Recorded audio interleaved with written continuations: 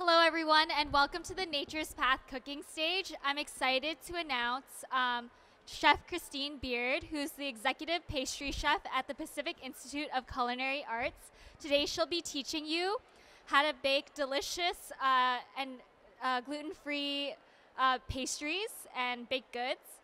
Um, and she'll also have a recent graduate alumni, R- Regina Thompson, who will be assisting her on the stage.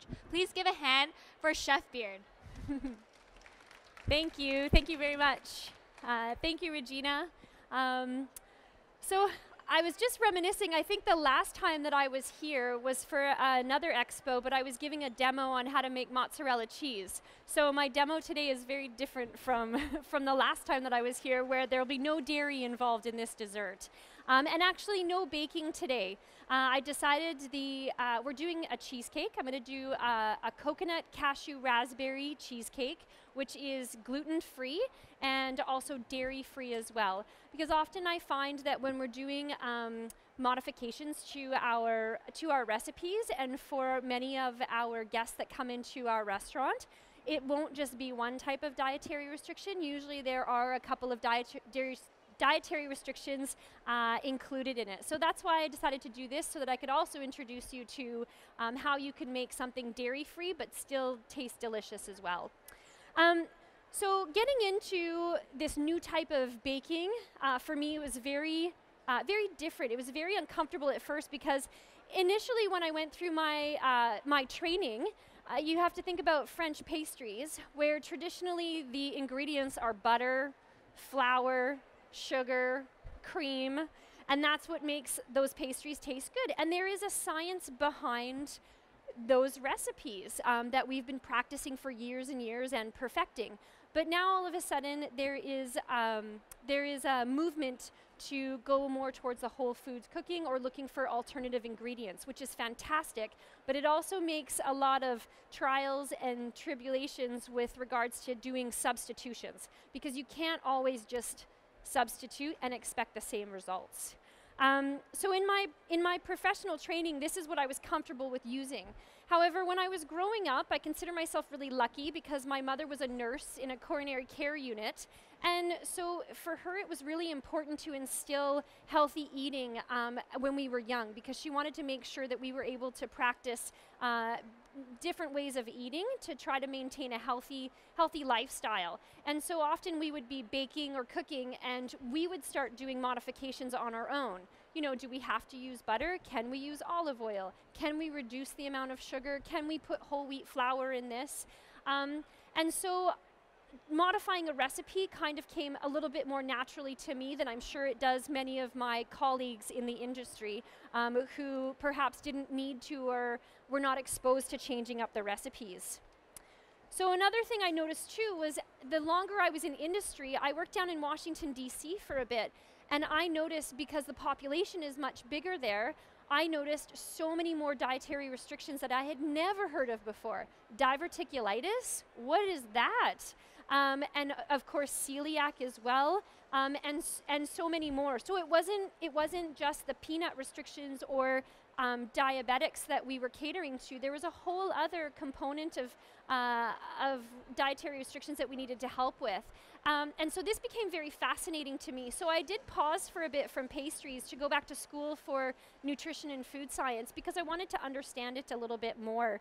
Um, but I did come back to pastries um, and I've brought some of it with me, uh, some of my experiences with me. So at the school at Pacific Institute of Culinary Arts, we recognize that um, it's important to be able to cater to those markets. And so we teach our students um, alternative, uh, alternative recipes or modifying recipes. Um, and we also include it in the daily baking uh, at the school. So today for you guys, we're going to do a coconut cashew raspberry cheesecake. So if you think about a cheesecake, it has a base, which is traditionally the graham cracker base, um, which gives it texture, a little bit of sweetness. Um, and then you've got this nice, rich, creamy top part, which is that cheesecake part. Now, there's no cheese in this. Uh, what I've done is some modifications. So the, the filling part is made with uh, coconut milk, raspberries, and um, cashews. cashews are an excellent way to add um, to add fattiness, to add that that richness that you get from a cheesecake. Uh, the most important thing is when you add cashews to a recipe is just soak them. Uh, so you want to soak them for at least five hours before you use them, or usually I'll soak them overnight. Um, and uh, I use it for everything. I'll put it into my cream of broccoli soup. I'll throw in some soaked cashews, and that'll give you that really nice richness. And then as a setting agent, we're going to use agar. So um, agar is nice because uh, I like it because it's an alternative to, to gelatin. Uh, and it, it will set it up very, very nicely. It's a little bit more brittle than how gelatin sets up an item, uh, but it's nice because it's a, it's a vegetarian option for a setting agent for your product. So what we'll do is we'll get started with the base. So to make the base, we're going to use pumpkin seeds. So pumpkin seeds are going to give us that crunchy texture. Then we're going to use uh, seeded dates. Dates is where we're going to get our sweetness from. And then we also are going to use a little bit of cinnamon, uh, just for a little hint of little hint of spice in there. Um, and then to combine it all together, we're actually going to use uh, cocoa butter. So you can use coconut oil or you can use cocoa butter. I like to use cocoa butter only because in the pastry shop, um, I always have cocoa butter in, in our pastry shop. So I'll get started. I got ahead of myself here splitting up my recipe. I'm going to get started by melting our cocoa butter. So I'll turn on our stove here. So you can get cocoa butter is pretty accessible, I think, at most uh, most grocery stores now. Yeah. So we get ours from our supplier. However, I, I like to use this powdered cocoa butter because, thank you, because it's easy to use. It melts very quickly. Um, and I'll heat it up in the pot, and you'll see that it, it's going to melt very quickly. Um, I use it's called Mycryo. So it, all it is is if you had a block of cocoa butter, they just really finely grate it, and then they sell it in these containers. You can get this at Gourmet Warehouse um, down on, on Hastings, I believe East Hastings. Yeah. So you can get this at Gourmet Warehouse, uh, and you can, I think you can get some of these products at Whole Foods. I haven't seen it at Nesters yet, only because I don't have a, a, Nesters close by to where I live. Um, and I think a lot of anywhere that supplies Whole Foods. It's uh, cocoa butter. Yeah. Oh, cocoa butter. It comes from it comes from chocolate. Yeah. So cocoa butter comes from chocolate. So if you think about cocoa butter in your lotions, um, that comes from the cocoa pod. And the process of getting cocoa butter is uh, when after the cocoa pods are fermented, what will happen is when they make uh, cocoa powder, they grind up all the cocoa pods into uh, a cocoa mass. They put it in this big pneumatic press, and when they press it, cocoa butter comes out one side, and these big pucks of cocoa powder come out the other side. So that cocoa butter is sold to companies um, that sell just cocoa butter. It gets added back into chocolates, so white chocolate. They'll put it into dark chocolate for viscosity. And then um, they'll also um, sell it separately like this, or it goes to pharmaceutical companies.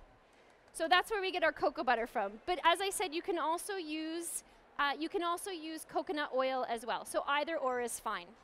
So we've got in here we've got our pumpkin seeds, we have our cinnamon, and we have our dates just using a food processor with the blade attachment. So we'll put this on and we're going to pulse it until it has a nice coarse texture.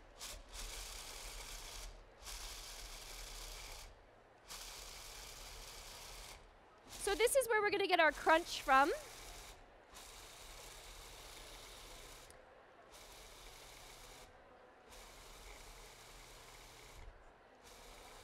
We go. So I have a nice fine coarse texture here.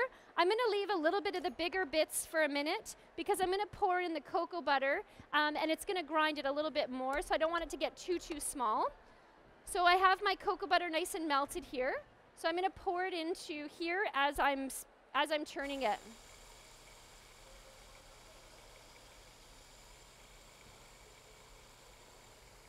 So cocoa butter will be firm at room temperature. Or sorry, firm at room temperature, and then of course in the fridge, it'll be nice and firm as well. So this is what's going to bind it together. So has anyone made a regular cheesecake before using the graham crumbs? So we usually use butter to combine all of that together. So for this, we're going to use uh, another fat. All right, so once it's ready to go, I'm to pass that over to you. Thank you so much. So we have, you can use a springform pan. For us, I'm using uh, a cake ring just because in our pastry shop we use cake rings to make our cakes. So you can use a nine inch springform pan. Springform pans have the bottom that releases and then the side has a little latch that'll snug it up around the outside. So you can see that it's gonna, st it sticks together really nicely when I press it between my thumb and fingers.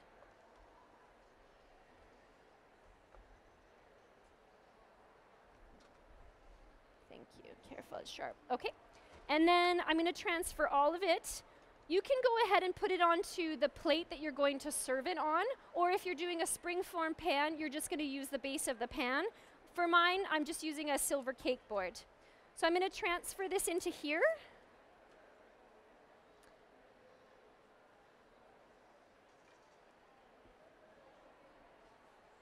There we go. And I'll spread it out. It looks like a lot, but once you press it down, it thins out really well.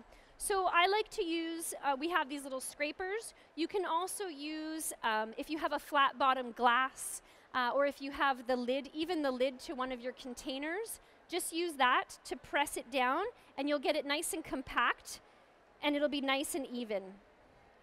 When I first started baking, I didn't have a lot of equipment at home. And so I got very creative with my tools that I would use.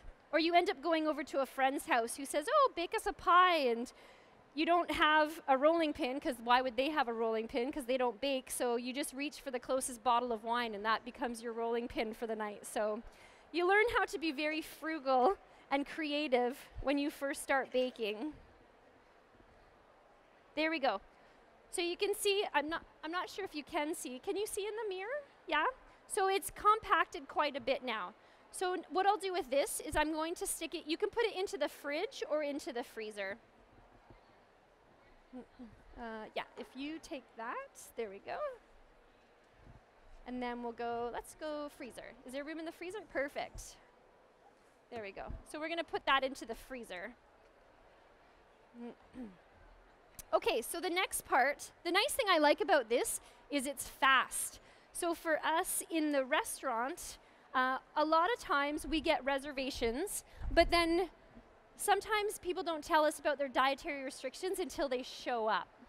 So we do a three course lunch or a three course dinner, which means they're probably going to sit down for about 45 minutes. So this is a great dessert that you can make and it'll set up fairly quickly. So if you have guests coming over or you're just in the mood for something a little bit sweet, and but you want it right now, you can usually get this set up within an hour and a half to two hours. It's a nice quick dessert. Okay, so the next part we're going to do is our filling. So for our filling, I'm just going to use the same pot. I don't mind having a little bit of cocoa butter in there.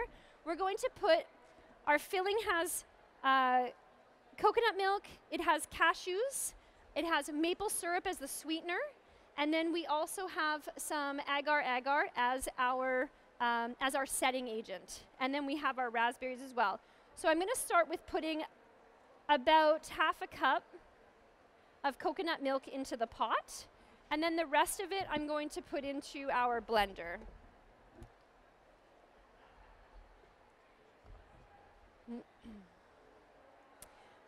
For making uh, this recipe, I recommend um, a good blender. Anytime you're going to use nuts in a recipe and you want it to be very smooth, same thing with if you're going to make um, like a kale smooth, some sort of smoothie, and you would rather sip your smoothie than chew your smoothie, I highly recommend um, getting a good blender. So there's a couple brands out there right now. We use Vitamix. I think you can see them at Costco. They're everywhere now. And um, Ninja, I think, is the other one that's out there as well. They just have really good power and they will make everything go nice and smooth. Um, and that's what we want from our cashews. So we're going to put our cashews in there. And then I'm going to put in about two cups of raspberries. What's that? Yes, they are raw. The whole dessert actually is is raw. So it was it was it's perfect. It it's accommodating for quite a few restrictions. But the best part is it tastes really good. so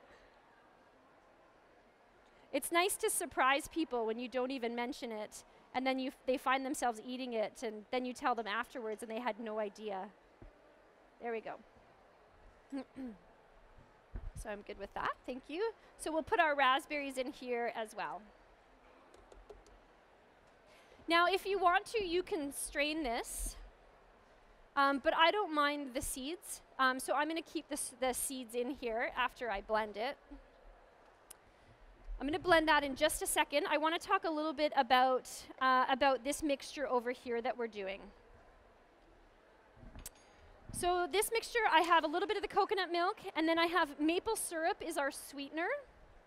You could also use agave if you wanted to as well. You could use honey. Uh, it might, you might just have to adjust how much honey you're putting into it just because of the sweetness being a little bit higher. And then honey will impart uh, more flavor, more, more of the honey flavor. And then we have xanthan gum. So, uh, not xanthan, sorry, agar. So agar comes from, uh, from seaweed, and it has a nice firm setting agent. What I'm going to do is I'm going to whisk it in to my mixture while it's cold. And what this step is, is uh, what we're doing is we're hydrating it. So just like, um, has anyone ever used powdered gelatin at home?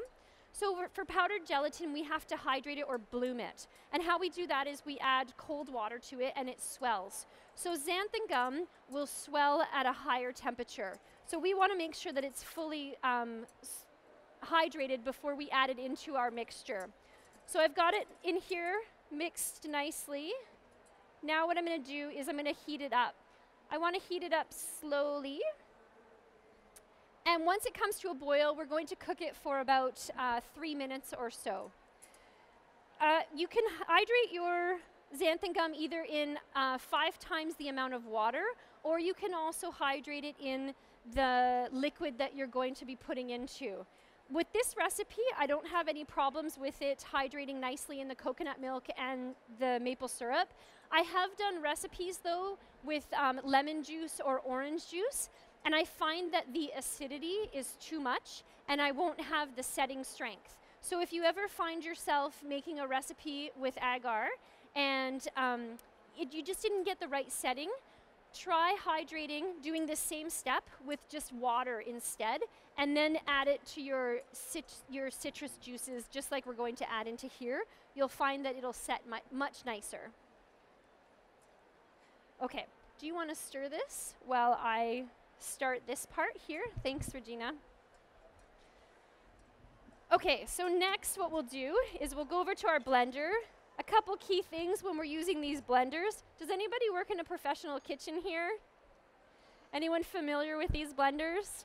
Always make sure it's off first. And then the other thing is there's a dial on the front. We always want to make sure that the dial is at uh, zero or at one on the lowest speed. If not, if I just turned it on when it was on high speed, it would explode all over the place. And I've seen it happen many times in a kitchen. So I'm going to go ahead and get this started. Thanks. So we're going to blend this up until it's nice and smooth. I'm slowly going to increase the speed. You can see the chunks of cashew that are starting to blend together. I'm going to pull this over a little more because I like showing the stages of the blender. Okay, can you see that in the mirror? Yeah? Okay, perfect. So it's really chunky right now but we're going to keep blending it, and it's really impressive with how smooth it gets.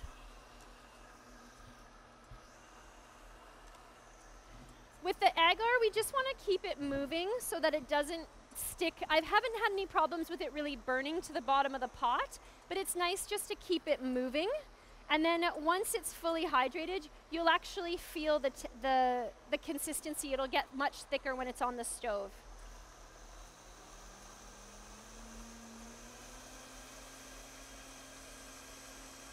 So I'm gonna blend this for about one to two minutes. I'll scrape down the sides to make sure that everything's nice and smooth. There's no random pieces of cashew anywhere.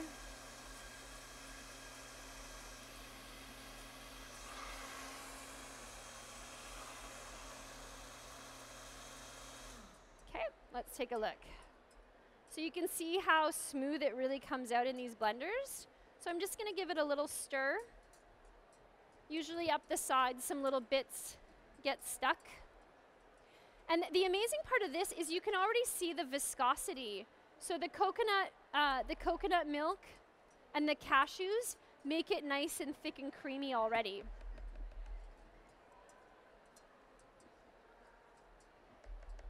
You can actually make um, whipped coconut cream. If you take uh, coconut cream, or sorry, coconut milk, and let it be settled, so don't shake it up, let it settle and put it in the fridge um, overnight. The next day, open it up, and you'll see this the thick, all the fat comes to the top. If you scrape that off and keep it cold, you can actually whip it up, and it makes a nice, uh, a nice whipped cream alternative.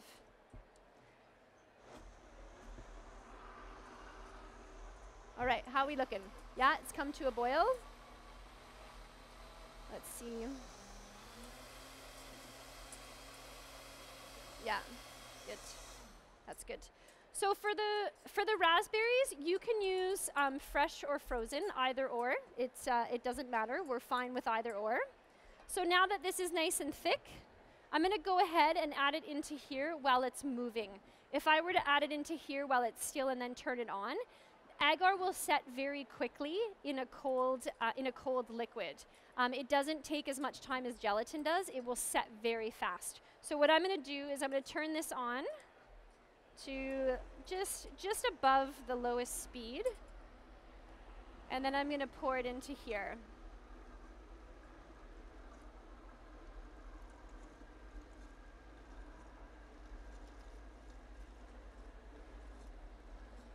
We actually use um, agar and xanthan gum, a lot of these in, in pastries. In the last five years, um, baking and pastries has really changed and incorporated a lot of these ingredients um, as stabilizers, um, as alternatives to using flour or uh, even cornstarch and, and tapioca. Because we get more, we get different textures out of it. Okay. So now I just want to scrape it down again to make sure. So can you see the how thick it is already?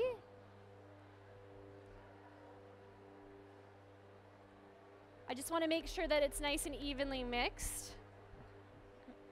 There we go.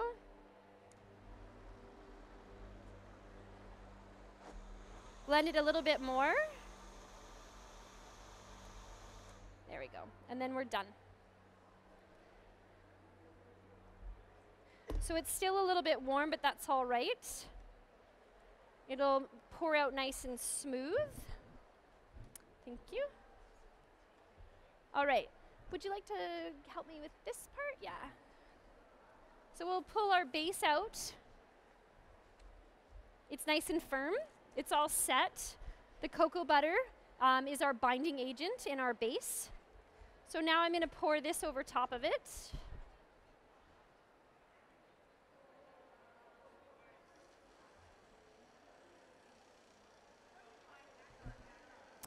Agar, I believe you can you can definitely get that at uh, gourmet uh, gourmet warehouse. Certainly, you might even be able to get it at. Is it at Whole? Oh, you can get it at most supermarkets now. I think it's becoming more and more uh, popular to regulars. Yeah, exactly. The flour and baking section. It's a sort of off-white. It's a little bit more yellowish, but it's a very fine powder. It looks very similar to xanthan gum, but they do two very different settings. So xanthan gum will make stuff gummy, and with, and for baking, yeah, or you can thicken sauces with it too. You can actually just add, so if I had my strawberry, if I wanted to do a, a raspberry sauce with this, uh, what I could do is just, there we go, yeah. Uh, let's go in the freezer actually, yeah. So if I wanted to with xanthan gum, if I wanted to um, make a sauce a little bit thicker, you can just take a little bit of xanthan gum and add it to like raspberries or blueberries, a little bit of sugar, lemon juice, and it'll thicken it. You have to be careful. You don't want to use too much, or else it is a gum, so it'll make it gummy. And um, you'll actually notice next time you go to the grocery store and you're in the um, you're in the salad dressing aisle, take a look at most of the ingredients in salad dressings. You're going to see that xanthan gum is actually a regular ingredient. The nice thing is, is that I think one of the reasons why we do love cheesecake so much is for that richness. It's that that coating that it leaves in your in your mouth when you eat it. It gives you that fulfilling that fulfilling texture. So when we eat cheese or when we eat chocolate or anything fatty. So by adding um, this recipe, I modified it from two or three recipes that I had. And uh, one thing I really liked was adding those cashews into this recipe to help give it more body or more, more mouth feel to it. Are there any other questions at all? Yes. No, uh, so these are just raw. So I just use raw pumpkin seeds. If you wanted to, you could certainly add a pinch of salt into there to help open up the flavor. And I use cinnamon, but if there's another flavor that you're interested in using, I'd say go for it. Yeah. Yes, of course.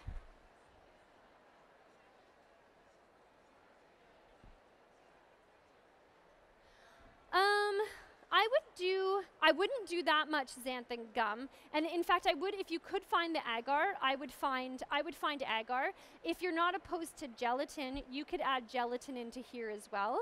Um, and that would help set it up, um, set it up as well. But often when, when we go all the way on doing a, a, dietary restriction item, I find that we just go all the way so that we can accommodate a broad spectrum. So, and we usually try our best at the restaurant to be able to have a, at least one dessert item that we can modify in a, in a certain way. So if, if, if you have gelatin, the powdered gelatin at home, I would give that a try. Um, and then next time you're out shopping and you find that agar. Uh, and if you look it up, you'll find a few other uses out there for agar as well. So yeah. Any other?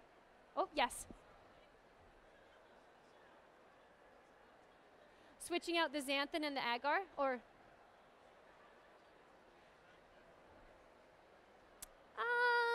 would I switch it out one to one? You know, five, hold on, I gotta do some math in my head here. yeah, I think you'd go less, a little bit less gelatin. Yeah, I would go less gelatin or else you'll end up with a really rubbery. So maybe I would do a teaspoon of, I would do a teaspoon of gelatin rather than two teaspoons in this recipe. If you're doing gelatin in here. Yeah. I would go half. So it's two teaspoons of of agar in here, I would do one teaspoon of gelatin. And then hydrate that gel hydrate the powdered gelatin just as you normally would. So, yeah. Yes. Um, I use canned. Yeah, I just use the canned, and I use the one I use the one with, that has the highest fat content. Again, because we're trying to get that, we're trying to get that fat, that fattiness. Yeah. Yes. If Oh, when I talk about the restaurant, so at our school, we have uh, a restaurant for the students to be able to practice in. We have a bakery and a restaurant. And so the students, we have AM classes and PM classes, and the students go in three months of training and then six months of advanced. And while they're in advanced, they prepare all the meals for the restaurant and the bakery. Uh, so we do uh, monthly menu changes, and then the students will also do daily desserts as well. And the daily desserts are really exciting because it gives the students an opportunity to showcase what interests them. A lot of times it's what brought them into cooking or baking as well. Um, so you get to see a little bit of what their favorites are, what they want to experiment with. And oftentimes we do have students that come through that have special dietary restrictions. Um, right now, well, Regina, you used to do a lot of uh, modified desserts.